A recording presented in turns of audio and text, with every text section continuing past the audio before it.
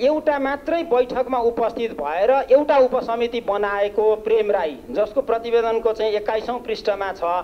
उहाँले चाहिँ त्रिहत्तर साल एक दुईमा एउटा उपसमिति गठन गर्ने बैठकमा भाग लिनुभएको मात्रै छ प्रेम राई।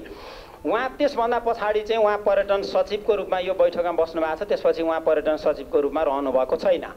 उहाँलाई र सुगत रत्न कम्साकारलाई एउटै क्याटेगोरीमा राखेर कारवाही गर्ने सिफारिस गरिएको छ यसमा। यो प्रतिवेदनले न्याय गरेको छ कि छैन? मन्त्रीहरूकै हकमा पनि यसमा के छ भन्दाखेरि जसको पालामा यो सम्झौता भएको छ जसको पालामा एउटा चाहिँ बिचौलिया खडा गरेर प्लेन खरिद गर्ने भनिएको छ। जसका पालामा कुन कम्पनीबाट खरि प्लेन किन्ने हो भन्ने कुराको ठेगान नभइकन पहिलो पेमेन्ट चाहिँ गरिएको छ। उहाँलाई चाहिँ नैतिक दायित्व मात्रै लिनुपर्ने भनेर उल्लेख गर्ने। त्यसपछि चाहिँ जसले प्लेन वैशाखमा चाहिँ यहाँ ल्यान्ड गर्दै थियो अन्तिम किस्ता दिनुपर्ने अवस्था थियो। त्यस्तो बेलामा चाहिँ बहालवाला त्यो बेला बसेको मन्त्रीलाई चाहिँ हदैसम्मको कारवाही गर्नुपर्छ भनेर चाहिँ प्रतिवेदनमा लेखिएको छ। रविन्द्र अधिकारीले त्यो बेला चाहिँ पेमेन्ट अन्तिम घडीमा उहाँले नपठाउनु भएको भए सायद आज भन्नेहरूले नै के भन्थ्यो होला नि रविन्द्र अधिकारीले चाहिँ प्लेन ल्याउन दिएन यत्रो आठ अरब पैसा हामीले दिइसकेका छौँ त्यो पैसा गयो भनेर भन्थ्यो होला जसको पालामा बैदा दिइयो उहाँलाई सामान्य नैतिक जिम्मेवारी लिनुपर्ने। तत्कालीन मन्त्री जितेन्द्र देवले पहिलो किस्ता दिए बापत नैतिक जिम्मेवारी लिनुपर्छ। उहाँले पनि नैतिक जिम्मेवारी लिनु पर्यो प्रतिवेदनमा फेरि तपाईँहरू लेख्नुहुन्छ अन्तिम किस्ता दिए बापत वर्तमान मन्त्रीलाई हदैसम्म कारवाही गर्नुपर्छ।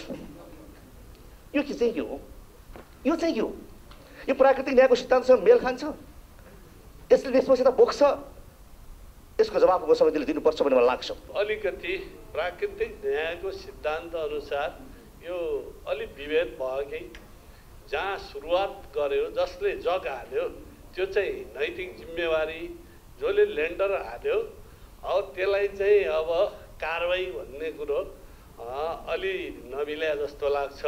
एउटै प्रकृतिका मुद्दामा कोही चोर नगए या डाका मार्न गए अनि सँगै जेल परे या पूर्वपक्षमा गए त्यसपछि अदालतले न्याय के गरिदियो भने या कसैले के गरिदियो भने एउटालाई दुई वर्ष एउटालाई पाँच वर्ष हुँदैन।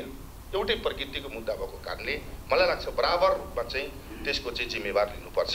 केही विषयवस्तु चाहिँ सार्वजनिक नामै पुग्दाखेरि चाहिँ जीवनबहादुर साई र जितेन्द्र देवलाई चाहिँ नैतिक जिम्मेवार अर्कोलाई चाहिँ के? त्यसरी एउटै डालोमा मैले अघि पनि भने सबैलाई एउटै डालोमा चाहिँ हालेर यो संशोधन गरेर अगाडि बढाउनुपर्छ।